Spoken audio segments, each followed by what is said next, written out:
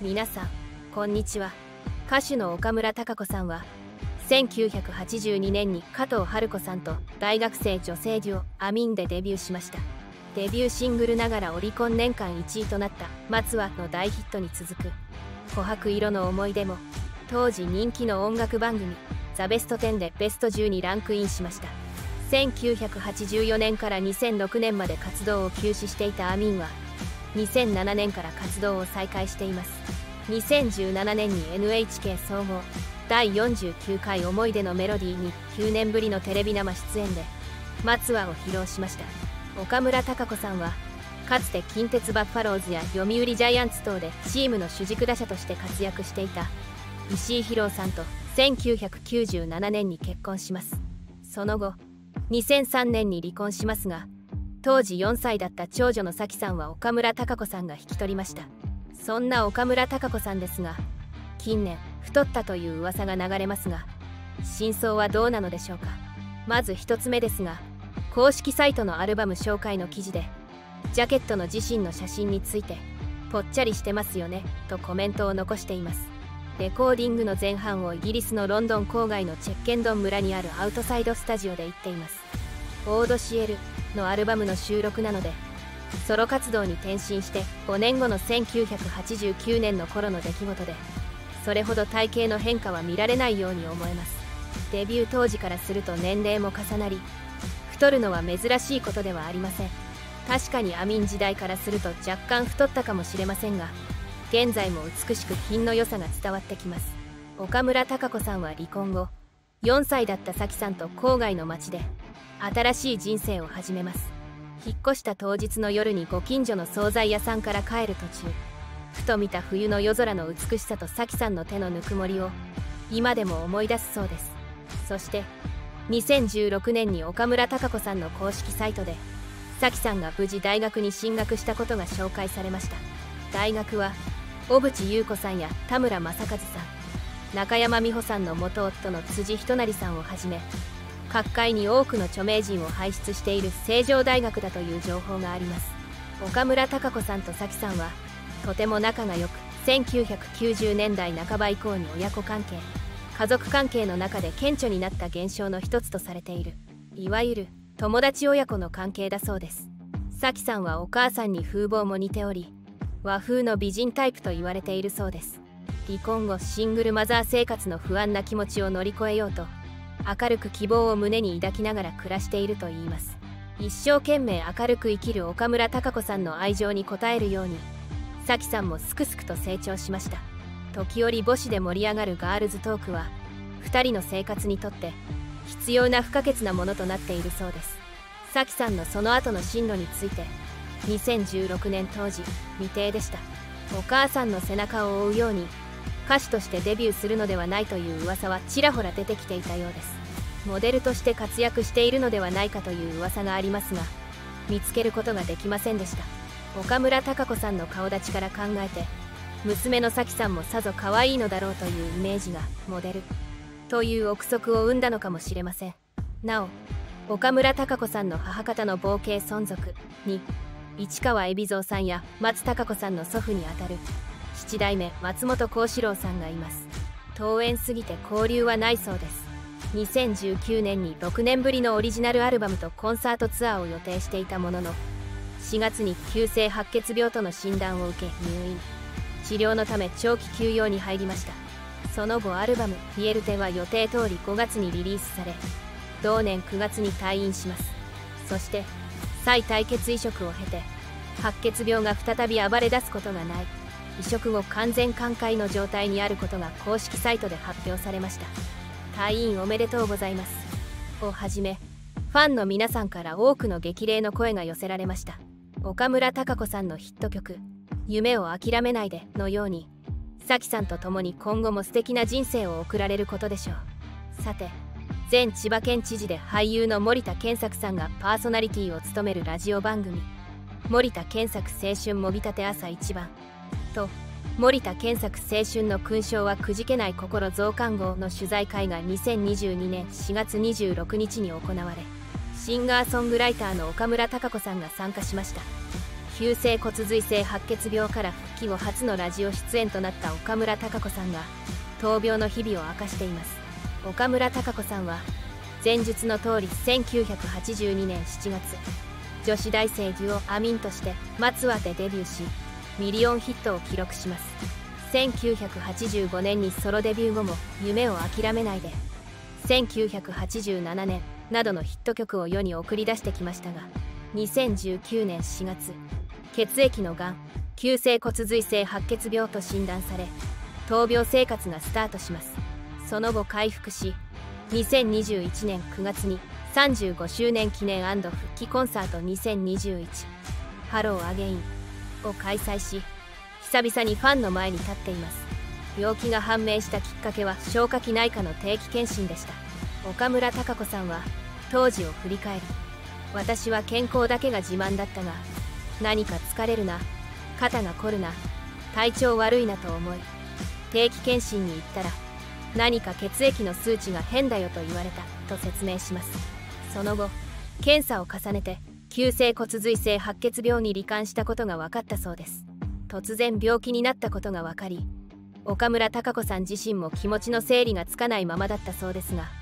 娘が支えになってくれたといいます。患者本人は白血病と言われても訳がわからない。うちはシングルマザーの家庭。母に亡くなってもらっては困ります。と娘が先生に言ってくれた。図書館でいろいろ調べて質問もしてくれた。私は整理がつかずぼーっとしていた時にありがたいなと思いました。としみじみ感謝しているそうです。この娘さんは先ほどご紹介した友達親子のさきさんです。また娘からかなり辛い治療になると思うけど私のために治療してほしいと言葉をかけられたと明かしています。大変な治療が始まるのでもしかしたら起き上がることができない状態になるかもしれないけどいいって聞いたらいてくれるだけでいいから。まだ残していくわけにはいかないので頑張るしかないかなと覚悟が決まりました。と当時の状況を語りました。入院中はずっと無菌室にいたため季節移ろいを感じることもなかったそうです。春に入院しましたが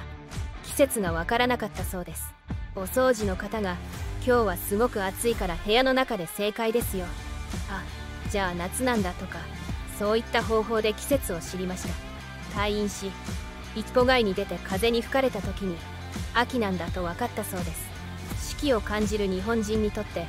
日々の生活は季節の移り変わりとともにあることがここから分かります。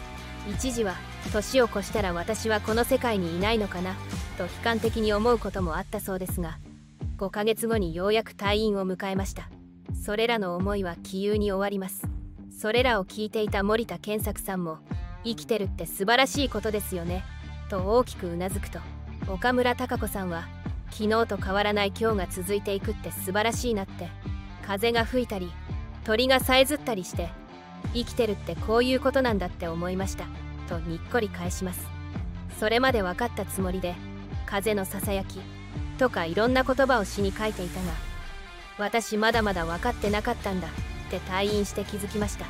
と苦笑しています。2021年9月に35周年記念復帰コンサート2021 Hello Again を開催しました。その時の心境を問われると次のように答えています。コロナ禍だったので会場まで足を運ばない人もいるだろうなと皆さん悩まれると思うのでたとえ会場がガラガラでもいいかなと思って向かったが3階までぎっしりとお客が入っていたとその時の様子を思い浮かべていました。観客は声を出すことができないため温かい手拍子や拍手で盛り上げてくれたそうで岡村孝子さんはみんなからこのコンサートを成功させるんだという気持ちがひしひしと伝わってきたとファンの支えに感謝しているようです。そして治療中に背骨を6箇所圧迫骨折していたとし体力的に今も100%の状態ではない。その時私にできる精一杯を伝えようと思った。皆さんに支えてもらって戻ってくることができた。とにかくありがとうの気持ちを込めながら歌いました。と復帰コンサートに込めた思いを明かしました。岡村孝子さんの元旦那さんは元プロ野球選手の石井宏夫さんです。かつて近鉄バッファローズや読売ジャイアンツで4番バッターで大注目されていた選手です。現在は参議院議員として活躍していて岡村孝子さんとの離婚後は再婚してお子さんが1人います。そんな岡村孝子さんと石井宏さんの衝撃の離婚理由子供の親権などに触れてみたいと思います。岡村孝子さんは2003年に石井宏さんと離婚しています。岡村孝子さんが旦那さんと別れた理由は何だったのでしょうか。岡村孝子さんたち本人は離婚理由に小さいことの積み重ねや些細なすれ違いなどを挙げていてはっきりと語っていません。岡村孝子さんの離婚には様々な噂があります。その中で有力な説を徹底検証していきます。まずは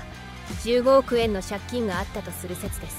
岡村孝子さんの父親が背負った借金が理由だという噂があります。岡村孝子さんの父岡村秀夫さんは地元岡崎市の市議会議員を務めていたことがある地元の有名人です。2001年に岡村孝子さんが父秀夫さんと岡崎で始めたラブホテル経営に失敗したことが原因とされています。特養老人ホームを経営する計画もあったそうですがこの計画は頓挫してしまいました。15億円もの借金を背負ったのは岡村孝子さんの父親がですがその連帯保証人になっていたため岡村孝子さんも借金を背負うことになってしまったそうです。借金返済のため岡村孝子さんの実家と岡村孝子さん夫婦の住んでいた豪邸を売却することになり残った借金は岡村孝子さんが2002年に歌手活動を再開することで返済し終えたそうです。借金を返済し終えて実家を買い戻した頃には夫婦は別居中ですでに離婚寸前だったようです。野球選手の収入でも返済はなかなか難しかったはずです。借金が離婚につながったのはかなり信憑性があります。石井宏さんはプロ野球選手として仕事に夢中であまり家庭には興味がなかったと言われています。岡村孝子さんは石井宏さんに対して子供には父親がいないと思うことにした。夫を当てにするのはやめたと言っていて夫婦間の溝は深かったようです。夫の石井宏さん側も思うところがあり野球生活のサポートが足りないといった愚痴を周囲に漏らしていたそうです。離婚会見では岡村孝子さんのことを人魚かと思って釣ったらホホジロサメだったと言い放つ始末でした。ちなみにホホジロサメは映画「上手」に出てくる人食いザメのことです。相手の評判を落とすことばかりを考えている節があったこの会見は世間から猛バッシングを受けることになります。石井宏さんには DV の噂もありました。真偽は不明ですが女性関係の悪い噂が絶えなかったり妊娠中も育児に無関心とも思えるような態度をとっていたりしたようです。岡村孝子さんは離婚の2年前娘が2歳の頃に橋本病にかかっていてこれも離婚理由の一つとされています。橋本病は甲状腺に慢性的に炎症が起こる病気で更年期以降の世代に多いと言われています。甲状腺の機能が低下することで体温の低下。冷え肌の乾燥やむくみ脈拍数の減少便秘無気力感などの症状が現れます。岡村孝子さんは橋本病で体調が悪く子育てが大変な状況でした。夫の石井宏さんは腕が痛くなるなどと言って育児に参加しなかったようです。岡村孝子さんはそのことがきっかけで夫を頼りにするのはやめようと夫に見切りをつけ夫婦仲が冷え込んでいったそうです。岡村孝子さんの娘さんは離婚当時4歳でしたがその親権は岡村孝子さんが引き取っています。再開した歌手活動と子育ての両立で多忙な日々を送っていたようです。歌手活動のレコーディングで1ヶ月間を空ける時には岡村孝子さんの実の母親に娘の面倒を頼むなど家族に協力してもらいながら子育てをしていたそうです。岡村孝子さんの娘さんは2021年現在23歳で成人しています。2019年の時点で大学4年生だったので現在は大学を卒業されていると思われます。2003年の離婚後離婚のショックで泣いてばかりいた岡村孝子さんを当時4歳だった娘さんが「私がいるよ」と頭を撫でて慰めてくれたそうです。岡村孝子さんは1997年結婚以降休止していた歌手活動を再開して借金返済と子育てのため仕事に奮闘します。娘さんの支えがあって借金と病気で多忙な日々を乗り越えられたのでしょう。いかがだったでしょうか？今回は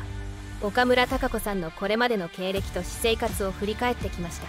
数々の病気を克服し舞台に舞い戻る姿はまるで不死鳥のようです。歌という自身の最もよりどころとしているものに力を注ぎ込んだり目標としたりすることで闘病生活や夫との離婚問題を解決する原動力となっていたのでしょう。今後もファンに素敵な歌声を届けてほしいと思います。ご視聴ありがとうございました。この動画が気に入っていただけましたらチャンネル登録高評価をお願いします。